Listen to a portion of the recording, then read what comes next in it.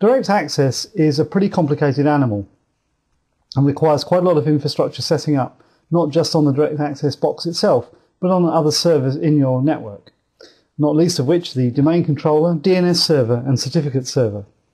In my demonstration environment, I've got all of these lumped into one environment. So if you look at my roles here, you can see I've got AD certificate services, domain services, DNS, and I've actually also got a web server running.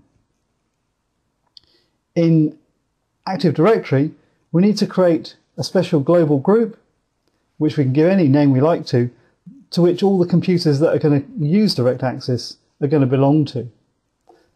We need to do work with certificates and certificate re revocation lists and publish those so that these client computers can be properly authenticated as they come in. We need to play with DNS, both for forward lookup zones and reverse lookup zones. And you can see a couple of things in here as I scan down, one of which is ISATAP, the intrasite automatic tunnel addressing protocol.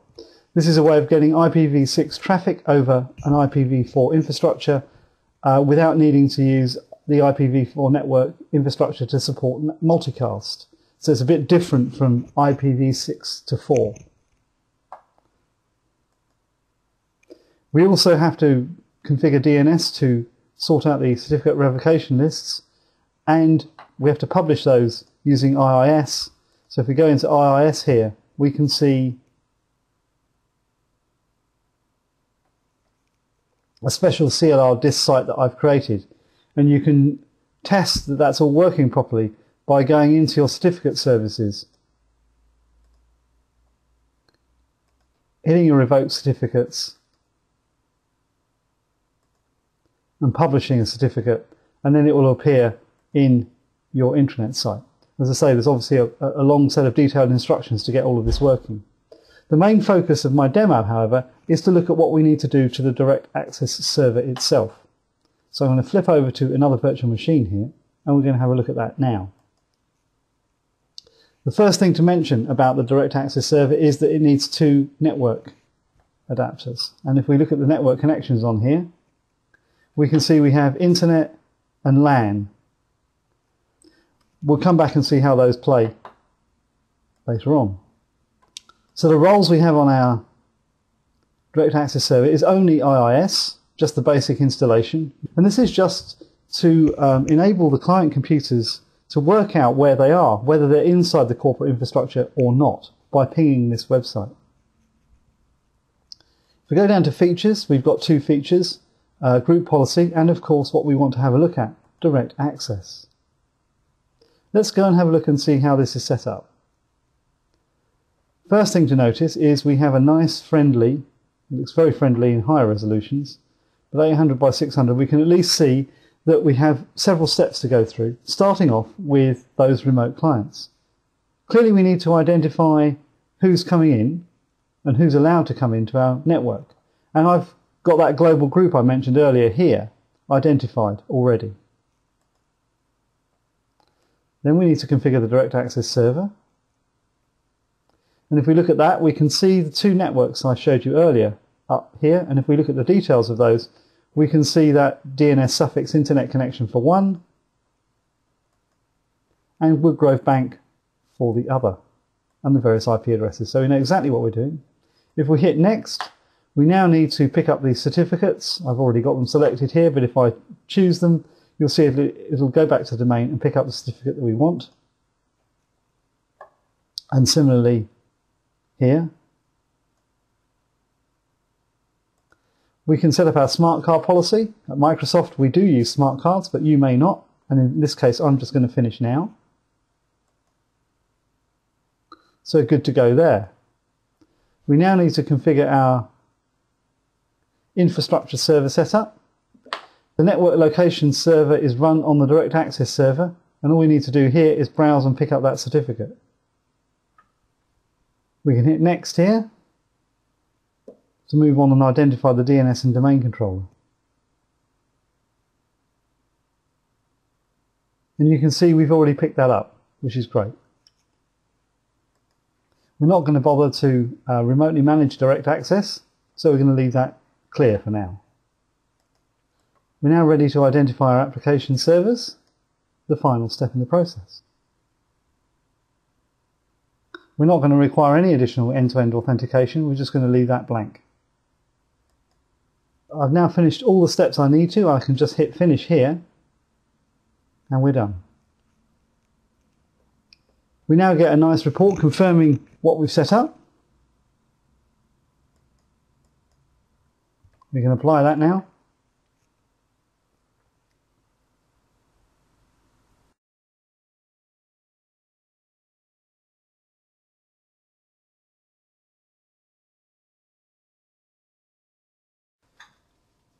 And after a few seconds, we're all set. Now we've installed Direct Access, we get a monitoring tab under the features in Server Manager. We can see that Direct Access is healthy, and we can see details of any traffic that's going on. And because we've just set it up, there's nothing to see really here at the moment.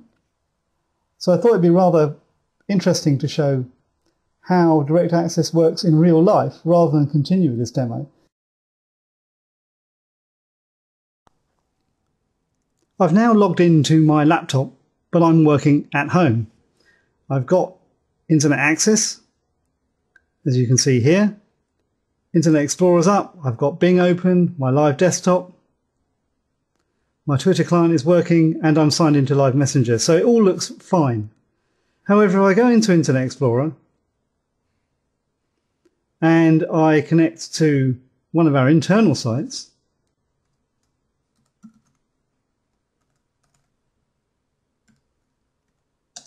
MSW, we can see that we have a connection problem, despite the fact that my client here is configured for direct access. And the problem simply is that I haven't been fully authenticated. I've got a set of keys on my dashboard asking me for my smart card credentials. When I click on this, you won't be able to see it on my screen recording software because of the way it works. But I've, what I need to do is put my smart card credentials in and log in. And all you'll notice is that that set of keys has gone away. And all I really need to do now is to refresh the page. And you can see immediately that MSW has now come up. I can connect to all the tabs on here. For example, we can see what's happening in the news. You can kind of see when I did this, can't you? And I can also see that I'm properly logged in as me. So I can see who I am here. Close that. Go back to my site. And I've also got my personal site, should I wish to look at that as well. So direct access is really easy for the users to use, but a little harder for IT pros to set up. I just wanted to recap on what you've seen with direct access because it is quite complicated.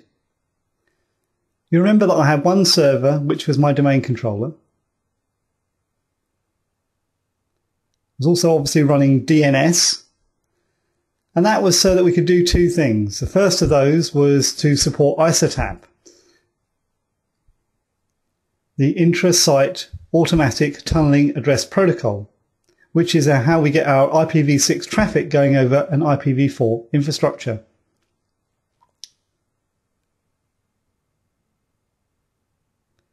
We also had a certificate revocation list host to enable those lists to work properly, both inside and outside the organization. Group policy enforces those certificates, and obviously we needed certificate services as well.